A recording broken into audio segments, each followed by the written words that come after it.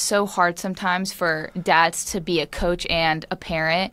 And my dad did it in probably the best way ever. And I'm just so grateful for him for that. Our guest today is a playmaking game changer of a midfielder who just over a month ago became the first US women's national team player without a cap to receive a World Cup call up since the great Shannon Boxx in 2003. And yes, until earlier this month, she had as many caps for the United States as I did. but that's changed and then some. On direct from Down Under, presented by Bud Light. Easy to drink, easy to enjoy. From 16 time zones away, to joy to welcome the one and only Savannah DeMelo. Hey, Rog. Nice to be here. Just 48 hours after having made your World Cup debut, just your second appearance for the US, thrust into that midfield in the 3 0 win over Vietnam. Have you allowed yourself a single moment to recognise that, to celebrate that, a little fist pump even? That you're now a World Cup playing footballer, or is it all focus, all business, and you just got to stay in the zone? Yeah, I think it's been um, a roller coaster of emotions. I've definitely allowed myself to um, kind of be in the moment and embrace it all. But yeah, like you said, it's focus, hard work, on to the next. It's just kind of looking forward to that next game and just trying to help in any way I can. Your dad is Portuguese, parabens, and I believe you've said that Cristiano Ronaldo was like a god in your house. Oh, he still is, yes. I think just him being a Portuguese player, my dad being from Portugal, my dad always looked up to him, always thought he was like an amazing player. And then when I started playing soccer, it's just kind of the one I, I wanted like to embody him. I wanted to be a soccer player. I wanted to play like him, score like him, um, live the lifestyle he did. So, despite your dad's affinity for football, your parents never really forced the game on you. I love this about your story. Gymnastics was really your focus when you were a kid. You also thrived on the basketball and volleyball courts. Can you tell us how they let you come to soccer rather than forcing the game upon you? My mom was a gymnast, so I wanted to do that for a little bit, and it was actually the off season for gymnastics, and my grandma's the one that signed me up for for soccer, and she'd let my dad know. Shout out to all grandmothers across this nation. We'd be lost without you, and you thrived as a kid playing at Beach FC, where your dad, the mighty Robert, was coach for a time. 2018, you earned a call up to the US Under 20 World Cup roster, played in France alongside Sophia Smith, Emily Fox, Naomi Girma. What was your mindset back then? Did it feel together that you were all on the pathway to that US national team proper? Did it feel so close you could touch it, Savannah?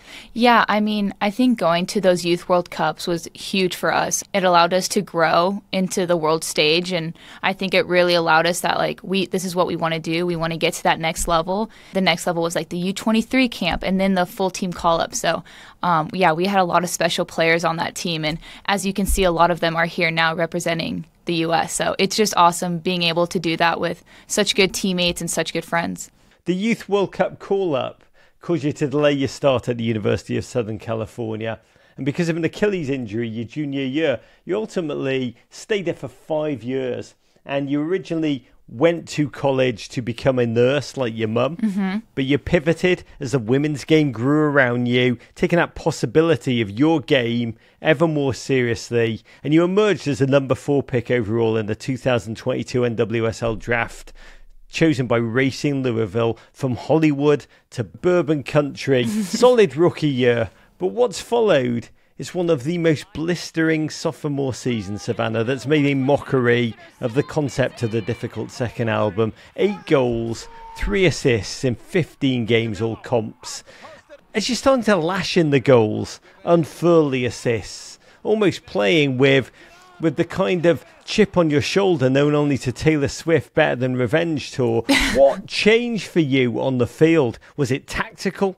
Was it mental that you suddenly decided you'd be the one to hurt opponents? You'd be the one that knocked? My rookie year, um, I came in and I just kind of wanted to help the team in any way I can, start getting comfortable. I mean, I think the jump from college to pro is a huge jump, and I had so much to learn. That rookie season, I got to learn a lot.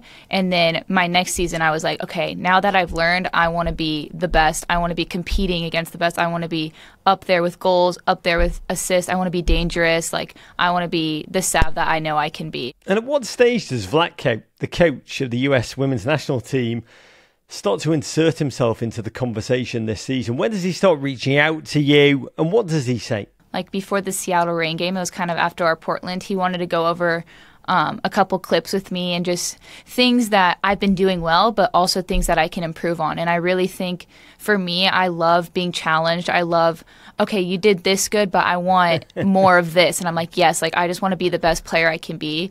And I know it all comes from such a good place. So Vlatko definitely gave me such good feedback and um, throughout the next couple games after that as well. And your form continued to be so irresistible that Vlatko then called you into the national team September and October camps last year, but neither outing produced a senior national team debut. And I thought about you at the time, the cocktail of emotions that you must have gone through, Savannah. Here you are, finally called into camp with your mates, knowing that a World Cup is on the horizon, but you were never given the chance to show what you're capable of on the big stage, not for a minute. And when you leave those camps, honestly, can you talk about the, the emotions that you experience? Is it the pride of being called in? Is it just deflated frustration? Is it confusion? How did you feel? Growing up as a kid, all you want is to be called into the national team, like make that World Cup or make that full team roster. And I was so grateful I did. And I think I learned so much in those couple camps, just what it's like to be in camp, like what are trainings like, what are meetings like. So I think I learned so much. So it allowed me to then, when I came into the world team roster and camp, like I'm like, okay, I've been here before. I know what this is like. I'm not necessarily like such a new kid. You're jumping ahead a little bit there because that is now we have the safety that you've, you spoiler alert, yeah. listeners. Savannah finally makes it. But I mean, were you not walking out just being like, oh, God, just give me a minute. Just give me a minute. You know, Jim Carrey. So you're telling me there's a chance? Yeah. I mean, I don't know. I don't really, I never looked at it as like a bad thing. I obviously would love to have played and get that first cap and all that, but I was just really excited to be in the environment, get the experiences I was getting. And I think I was learning so much from those first couple camps. I didn't want to raise my Bud Light to that spirit, that tenacity, that optimism. Um, if every person had it, I do think the world would be a better place, or at least a much more productive one. but the tournament is growing closer and closer. You know, how often did you think about it back then? And honestly, how did you evaluate your chances? Yeah, I mean, I think I started looking at it in January, like of this year. I was like, you know what? National team, the World Cup's coming up, and I knew that the girls weren't going to be in camp for a really long time. It was like, I think there was an April camp, and then the next camp was for World Cup. So I know Vlatko um, emphasized a lot on club play. And so I just think something my dad's taught me is controlling the controllables and I knew that what I could control was that I was here at racing, um, and just to play my game and make it almost like they couldn't take me. And that's kind of the mentality I had each and every game, and just um, focusing on my club play. Focusing only on yourself, only what you were doing everything else filtering it out. And you did keep balling out for Louisville. And, you know, the World Cup squad was going to be announced, I think, selection Wednesday, but most of the players didn't know that until very late. How does it work as players? Do you have a sense of when Vlatko is going to be calling a rough window? Does that get communicated to you? Are you are you in your WhatsApp chats with the other US women's national players? Are you saying, "Whoa, that person was chosen"? That, but are you getting a buzz that it's happening? It's happening. Looking at your phone. Tell us how it works, and then how you feel as Vlatko's name pops up on that caller ID. Yeah. So we got an email um, telling us what day it was going to be, in, or like what day Vlatko was going to tell us yes or no. I didn't know when I was going to get the call saying yes or no, if I was going to get an email. And then Vlatko texted me. He's like, hey, can I call you in a couple minutes? And I was like, oh my gosh. So like, so busy, Vlatko. That doesn't work for me. so I like sprinted to my room. Then I saw he was FaceTiming me. And I'm like, oh my God, I really hope he's not FaceTiming me, like to say no and like I'm going to start crying, whatever. Um, but then my sister was in the room and then my parents were in the other room. And then when Vlatko said yes, my sister like sprinted out and like told my parents. And in the back of the video, you can hear them screaming. We selected you for the roster for the World Cup. I'm sorry. I mean, I wouldn't joke with something like this. the thing I really love about it is there's a delayed reaction and then just an incredible explosion of noise in your home. It's like fireworks as news crackles to your family. Much Vlatko. Absolutely. Uh, we're very. Sorry, that's my family. Yes, I could hear the excitement there. Humanly heartwarming, and I need to know. You know, you've talked about your dad um, and the the investment, the energy, the wisdom that he's poured into your game. What what was that conversation like when you put the phone down, turning around to your dad, Robert, and saying, "We made it." Yeah, and I think that's exactly like the word we because it's not it was never like, "Oh, I made it." It's like I wouldn't be who I am without him and you know, I always say this, but it's so hard sometimes for dads to be a coach and a parent. And my dad did it in probably the best way ever. And I'm just so grateful for him for that. How would you describe it? The best way ever? How would you describe that way? Yeah, I mean, I think we just had a really good understanding of each other. Um, he knew when he could be hard on me, and then he also knew, like, okay, like, soccer is a sport, and, like, this is my child. Like, I need to be a parent now. So I think just he was he's been my coach since I was nine years old, so we just know each other better than I think anybody knows, like me. So um, he knows me. He knows when I need encouragement. He knows when I need someone to back off of me for a little bit. Um, so yeah, and even to this day, like after games, he's like, "Hey, like I thought you did so good in this, but maybe next time look." And like, you know, he's still my coach, but he's like, "But I am so proud of you. Like, how's the coffee?" But like, that's the conversations kind of we have. Mm-hmm. How? Uh, what, what did he say to you in that moment? He started bawling, crying, and he's not really one to cry. So, like, obviously, my mom was crying. My mom always cries for everything, but um, my dad was bawling, and uh, that's kind of all the words I need. It was just him crying. He gave me a huge hug, and he said, "I'm so proud of you." And he's like, one thing he said was just like how far I've come because, like you said, I got injured with the Achilles and you never really i never really thought i would get back to where i am today because it was just such a horrible injury and then covid happened so just knowing i came so far from that is just huge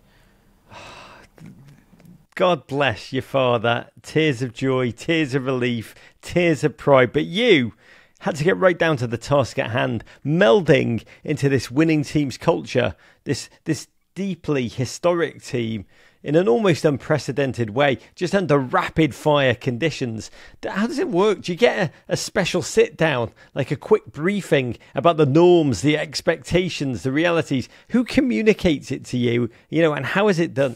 Yeah, so I think first of all, like I think the girls have been great. They have all helped me in the biggest of details and the smallest of details. I think that's we're a team now and I think they we all put the team first and we just want to do anything we can for this team.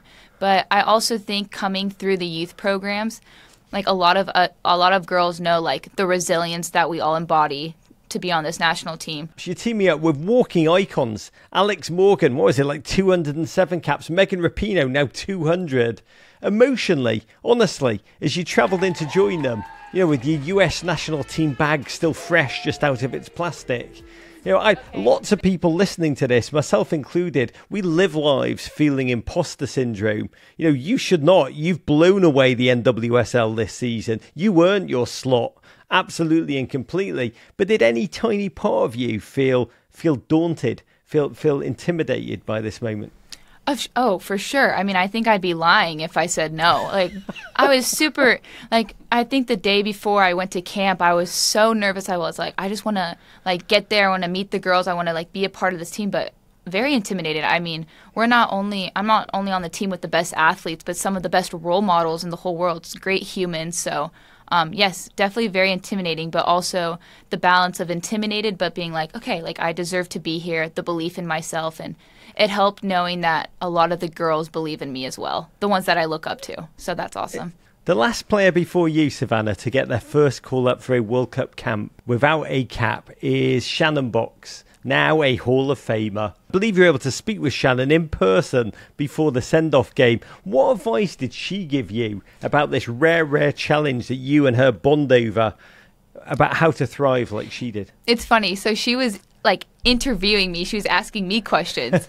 And I was like, I actually, can I ask you a couple questions? Because like we're in the same boat. Like I'm doing this for the first time. Um, but she just told me to take it all in. Like, I mean, it's so many emotions, but just at the end of the day, this is a World Cup. This is something that is supposed to be super joyful, super excited. Like all your hard work has gone into this. So just living in the moment and staying where my feet are. Is there a rookie ritual, a hazing, like a song you have to sing before the group or a welcome thing that you got to go through? Nope. No, no. And if there was, I don't think I'd be allowed to say anything about it. Whoa, wheels within wheels. That means but there is, and we're going to get to the bottom of this. We're going to No. find out exactly which Taylor Swift song you had to uh, sing in the opening meeting. I love But Taylor Swift though, so that would have been fine. you would have smashed that one. Um, to the World Cup and Friday night's game, and I believe you found out you were starting against Vietnam less than 24 hours before kickoff. When did you find out you're starting? How did you find out? And what emotions do you feel in that moment? Yeah, I mean, I think we find out for sure um, the night before the game. We go over our scouting report and it gives us the lineup. Um, yeah, but when I found out, I kind of just smiled. And I remember a couple girls that came up to me saying, Congrats, you earned this. Like, we all believe in you. And I think just the emotions inside were, oh my gosh, I'm a nervous, but I'm like, I have no time to be nervous. I just need to figure out how we're going to win, what we're going to do to win, and doing everything we can to win. The night before the game, how do you sleep? Do you sleep? You know, I actually slept really good. I'm not gonna. I'm not gonna lie. I took um, some melatonin and I knocked out because I need my sleep before games. But when I woke up, I definitely was. I felt the nerves. But um, me and Emily Fox went to go grab a coffee, talked. You know, she's one of my best friends on this team and one of my greatest friends of all time. And just having her support and her kind words. And, you know, I play on the right side, right midfielder. She's the right back. So, like, just the connection I have with her on and off the field makes things so much more relaxing and comfortable for me. What does Vlatko say to you in terms of what he wants from you? Yeah, I think he wants me to just be myself. I think that's what a lot of the girls say. They're like, you do this every weekend in the NWSL, like just do the same thing you do back at home. And that's what I'm trying to do. I want to dribble. I want to get in the attack. I want to create fouls. I want to get set pieces off of that. So just being like being myself is, I think, what everyone wants me to do. What did your dad say to you? my dad. So he just said good luck. He said I'm always here if you need anything. I think that's also something important. Sometimes I'm good. Like I'm 25 years old. I have coaches that are, you know, national team coaches. So he goes, you know, if you ever need me, I am here. But um, it was funny. He went to a pub after the game, or he went to the a pub at the game for the game, and he Facetimed me with like all his friends, and all he said was like, "I love you so much. You played so well." That's it. And then he hung up because he couldn't hear me.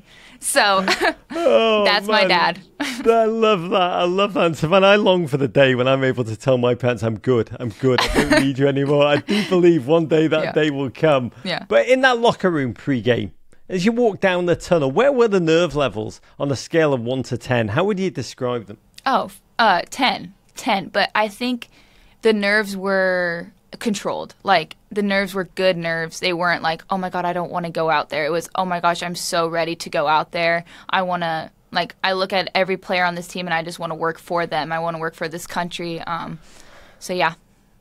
Which veteran gave you the best advice, Savannah, and what was it Mm. about the game? You know, I think they've all given me good advice, but I think the best advice is just how like they've been acting towards me. I mean, Lindsey comes up to me every chance she gets to give me a hug. Kelley O'Hara is giving me a hug saying like I deserve this, like own this moment. Alex Morgan like looks at me, she's like you got this. Like those are the things that kind of stick with me rather than words. It's more the hugs, the you're you got this, all that stuff. God, when you walk out as part of that starting 11, when you hear our national anthem, take us inside your head. I was watching you and I was wondering, what is she thinking? What emotions is she feeling standing there at Eden Park, realizing this lifelong dream that you've had to work so bloody hard for and at times has looked unsure, but that dream was about to come true? Yeah. What were you feeling during that anthem? I mean, I it makes me like emotional even just thinking about it. I had so many thoughts. I had so many just prayers. I was just like trying to live in that moment and all I could think about though was we need to win this game. Like that's as much as like I want to think about I'm so grateful. We were like we have work to do. Like we are a team that have a big target on our backs and we we need to start strong and finish strong and that's what I think we were all thinking about in that during that national anthem. the game itself, not quite the 13 0 thrashing the US women's national team opened up the last World Cup campaign with, but a, let's say, joyously routine 3 0 affair in which you eventually dispatched a gritty Golden Girls of Vietnam, and I love that nickname. But was there a moment during the game where you allowed yourself to stand there and think, I am doing this after all those camps in which I couldn't get a run out, the missed call ups? I am starting in a World Cup. I think I thought that for a second when right before the kickoff it counts down to 10. and you kind of just like like you have I had one quick thought and I was like, "Oh my gosh, I'm here, like live in this moment, be where my feet are, but like let's do this." And we all were just like all we had on our mind was the win. And like you said, it's not the 13-0 win, but I mean, Vietnam was a great team, played really good defense and they are a hard team to break down, so just really excited we got the win. And I think at the end of the day, three points is the most important thing. I mean, it's a motif of this World Cup so far. Every team is organised, disciplined, bringing it without fear. Oh yeah. But was was there a singular moment that will be a lasting memory from the game for you? Ooh, um, I think the countdown. Like I think that countdown, the crowd was screaming. I mean, I think there was forty two thousand fans at the game. Like I looked around me and I was like, okay, let's do this. And I've never heard that kind of a countdown before. So it kind of just like made like it pumped like all of us up, I think. So I would definitely think that in the national anthem. I think those were two like just special moments. Last question for you, Savannah. What advice do you have for our listeners? A life truth that they can glean from your admirable, incredible journey? Um, I would say anything is possible if you believe in yourself. Um, that is the first step into greatness into getting to where you want to be is just believing yourself having full confidence in the person you are and never changing for anybody or anyone and just always relying on yourself and your family and your close friends and that can get you very far. I'm raising my Bud Light to you. You are truly a study of the human spirit, a human being who will grab fate with their bare hands, bend it to their will. One who's proven to all young footballers who love this team that, as you say, anything is possible. It's possible. It's amazing. it is. It is. It's wonderful to be with you. Courage. Listen to the full version of this podcast and all our podcasts wherever you get your pods. But first, subscribe here for more Men in Blazers videos and courage.